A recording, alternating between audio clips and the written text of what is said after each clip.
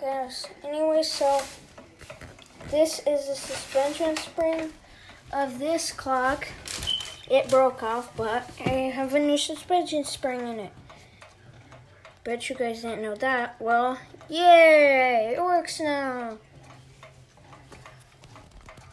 Okay, guys. So if you didn't know, August August 30th is my birthday, and today is August 30th. So I got some new clocks for my birthday. Yay! All right. So first we'll be doing this clock.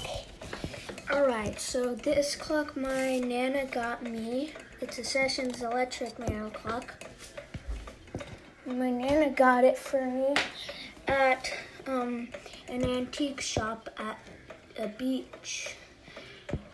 And she just really thought of me and she so she got this for me for my birthday. And then and then she found this clock at a state sale. She packed both of these ones in a in in a box and she waited in for like months and and waited for my birthday. And here we are for my birthday. Alright, this one is not functional, so so it doesn't run, as you can see.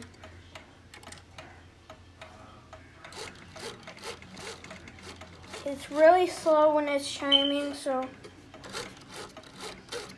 that's what it sounds like. Yep.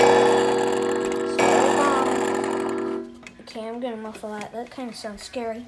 I actually call this clock the death clock because it sounds like that. And there's another. There's there's a better look at the face. All right, now let's go to the other clocks. All right, guys. So so we have this. Ta-da! Sessions Timbre Mantel Clock. There's the key. And two winning holes. And it's really good. It's a really cool clock. Clock. It's a really cool clock. clock. Sorry, I'm just gonna open this. It's gonna shine me. Yeah, it's a really cool clock.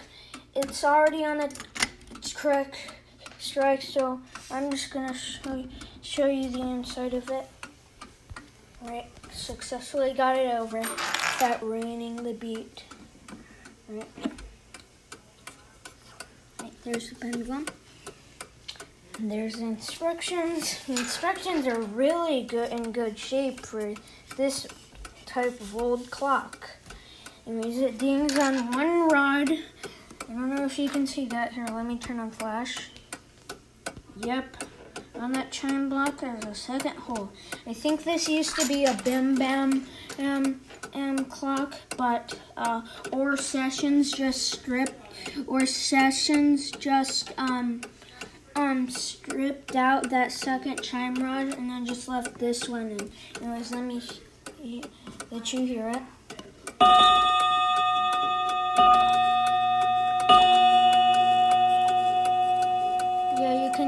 See where the bim bam would be. So this would be the bim, bim, then the bam would be over there. But yeah, this is a very nice clock humpback shape. Really, really, really like that. And I love the sound, and we got this at an antique mall. All right, you guys are gonna love this next one. Yep, it's a cuckoo clock.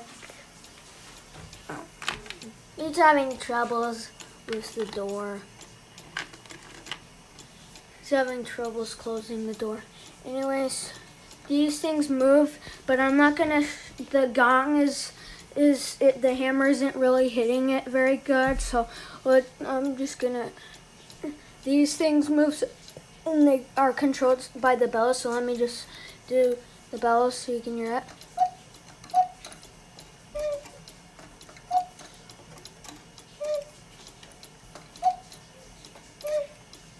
That's what that one sounds like. You got your true weights. This is an eight day clock. And I weighed them in, so this one was the lightest. So it would go on the cuckoo clock thing, cuckoo clock, cuckoo clock chain, and this one was the heaviest, so I hung it on the time I'm hook. All right, those are all all the the clocks clocks that I got for my birthday. Yay! Oh, by the way, the headpiece it it it hangs on there, but it currently is broken into pieces right now, so we're gluing that back together. It fell off the um, the fireplace as we were hanging it hanging it on the wall.